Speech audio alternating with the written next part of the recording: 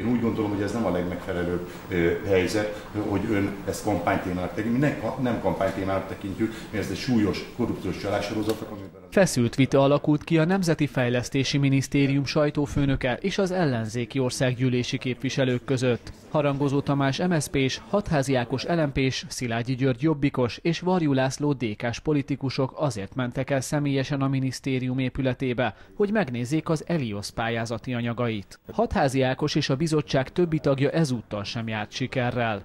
A minisztérium munkatársa annyit mondott nekik, hogy a kért dokumentumok összegyűjtése megkezdődött, de ez több ideig tart, hiszen óriási mennyiségű pályázati anyagról van szó. Harangozó Tamást elsősorban az érdekelte, hogy ki, kinek az utasítására, és miért írta át a pályázati kiírást három nappal a beadási határidő előtt. Varjú László a DK alelnöke azt mondta, büntetést érdemel az a csalás, amelyben a miniszterelnök és a környezete közreműködött, és szerinte ehhez elsőként Polt Péternek kell távoznia.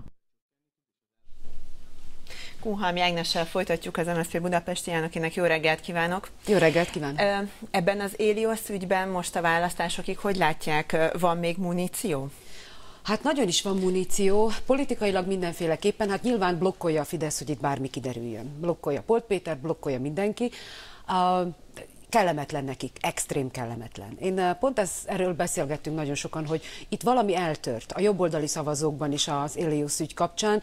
Én szerintem rájöttek a jobboldali szavazók, de úgy nyilvánvalóvá vált az egész országnak, hogy ez nem olyan, hogy á, hát itt minden politikus lop. Ez már önmagában túlmutat ezen, de még csak azt is, azon is túlmutat, hogy itt fajta ne, újfajta nemzeti tőkésosztályt akar a Fidesz létrehozni. Emiatt nagyon sokszor a jobboldali szavazók, hogy is mondjam, megbocsátották a Fidesznek azt, hogy itten egyfajta jó, történelmi jóvátételnek és igazságtételnek szokták titulálni azt, hogy itt a Fidesz az állami vagyontnal úgy garázdálkodik, ahogy éppen látjuk. Itt látszik az, hogy itt még csak tényleg nem is ö, valami történelmi jóvátétel van, hanem egy családnak a kis Ebben más ez az ügy? A választók ezért ítélik meg másképp? Szerintem igen. Szerintem igen. Tehát ez most már kiderült mindenki számára, hogy a király mesztelen. És ennyire népellenes politikát folytatni, tehát már, ahogy nekem szokták nagyon sokszor a Lőrinci piacon, meg a választókörzetekben, de tegnap Miskolcon voltam például, március 15-ét ünnepeltük, és elmondták, hogy élni és élni hagyni. Már ez sincs ebbe az országban. Ha már március 15-e, szép ez a kokárda, és megígértem a nézőknek, hogy elmondjuk a történetét. Igen, ez egy horgolt kokárda, és egy kedves választópolgárom tól kaptam, és a ruháimra, amikor ilyen ünnepség van, akkor ezt szoktam tenni, a kabátra már hagyományosat teszek, de megígértem neki, valóban ő saját kezüleg készítette, úgyhogy nagyon örülök neki, és mindig eszembe jut, amikor egy évben egyszer ilyenkor felvesszük. Elég jó pufa, tetszik. Igen. Örülök, hogy tetszik. Igen, szép, meg feltűnő, tehát, hogy egyedi. A beszéd is megvan már? Igen. Mire hegyezik ki? Ho-ho, a választások tétjéről fogok beszélni elég sokat. Na, egy kis előzetes. No, hát, egy picit. Nem akarok spoilerezni, mert azt szeretném, hogyha a budapestiek eljönnének. eljönnének hát sokan. az még kevés lesz, a vidékieknek kell. A vidékiek megnézzék majd a híradóba, és nézzenek bennünket az interneten, de tegnap Miskolcon elképesztően sokan voltunk, iszonyat nagy fákjás felvonulás volt, tehát valami tényleg változik. Ha annyit mondhatok előre, hogy nem csak magyarországi tétje van a választásoknak, hanem van keményen egy európai tétje is. Ahogy az 1848 18-as politikai elit felismerte, hogy együtt kellett működnie radikális liberálisnak és fontolva haladónak, konzervatívnak és radikális baloldalinak, úgy bizony most is fel kell ismerni a politikai elitnek, hogy csak közösen érhetünk el jó eredményeket, de nem csak ezt ismerték fel a 48-as hősök, hanem felismerték azt is, hogy nem csak képviselni tudjuk ma Európát, hanem keményen hatással is tudunk az európai folyamatokra lenni.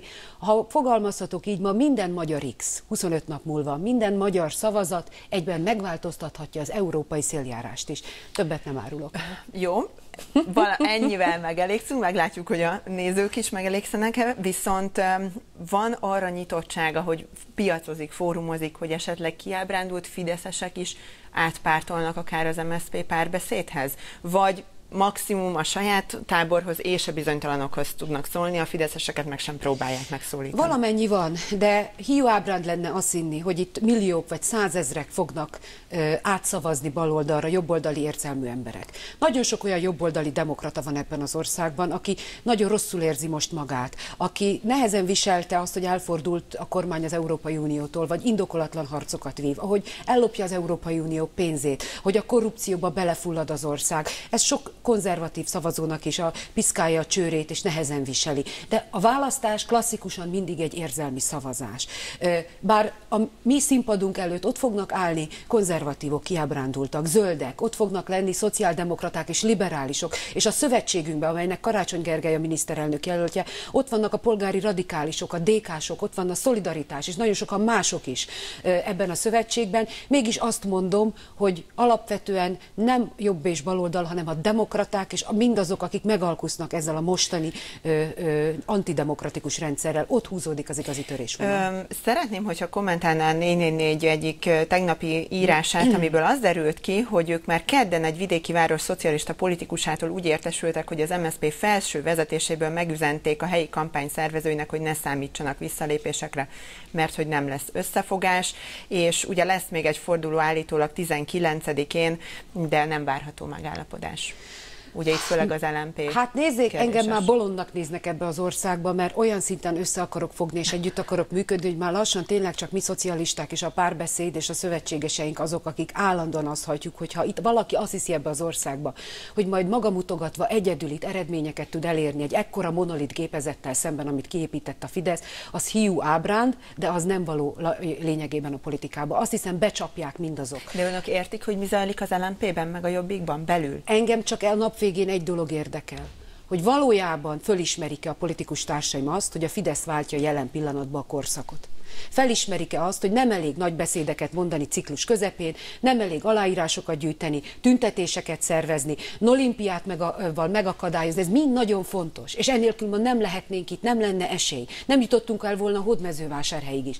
A lényeg az, hogy amikor tényleg ott vagyunk a választások pillanatában, amikor ott van a pillanat, mondhatnám úgy is a momentum, hogy megváltoztassuk, hogy hatalomba juthassunk, hogy iskolákat adhassunk át, hogy lakhatást nyújtsunk másoknak, hogy segítsük az embereket normális jövedelemhez jutni. Amikor tényleg itt a pillanat, akkor képesek ezek a politikusok felismerni, hogy az ország érdeke és a jövő a fontos, és nem saját De ezzel magunk. azt állítja, hogy az LMP nem képes? Nem hisz. Én azt hiszem, hogy az LMP nagyon nagy vívódásokon megy keresztül. Én azt hiszem, a saját identitásukkal vívnak, de azt látom, hogy nagyon sok szavazója viszont segít nekünk. Nekem a 18. kerületbe rengeteg jobbikos és rengeteg LMP szavazó is bejött kopogtató cédulát, vagy az ajánló alái ajánló aláírását aláírni. Mint ahogy egyéni képviselőként, aki képviselhettem a kerületemet az országgyűlésbe, számtalan elempés családnak és jobbikos érzelmű embernek is intéztem el ügyeit. Ön a hódmezővásárhelyi választás után kapott SMS-t Fideszes politikustól?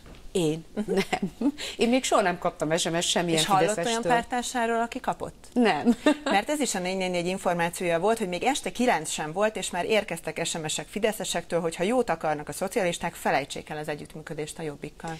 Nézze, én ezzel nem tudok mit kezdeni. Ezek ilyen álhírek, meg ilyen találgatások. Én azt tudom, amit el fogok mondani az embereknek a színpadon. Én azt tudom, hogy mi voltunk az egyetlenek, az MSZP és a párbeszéd, aki bármilyen szövetséget volt képes kötni a partnereinkkel. Én azt tudom, hogy a DK-sok és az MSZP-sek a fél országból visszavonultunk, hogy szövetséget tudjunk kötni.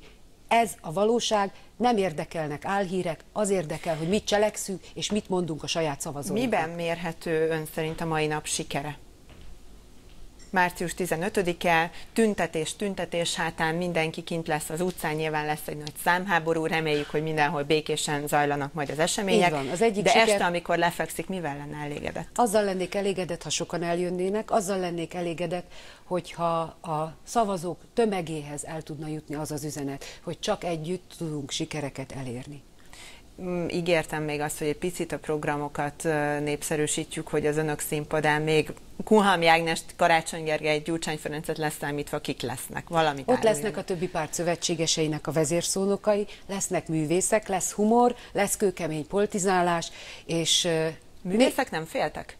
Nem, hál' Istennek. Tehát én rep, reped itt a jég nagyon keményen, és boldog vagyok, hogy lényegében mindenféle korosztálynak a jeles képviselői megmutatják magukat, szimbolikus is lesz ez ebből a szempontból, de a lényeg az, hogy nagyon kemény fordulatokon vagyunk túl. Sok fordulaton, nehéz időszakon van túl az ellenzék, és én csak azt kívánom saját magunknak, hogy még több fordulat és még több csatátba tudjunk belemenni, mert akkor fenn vagyunk a versenypályán, és van esély nyerni. Már pedig van esély nyerni. Köszönöm, hogy itt volt. Én is köszönöm.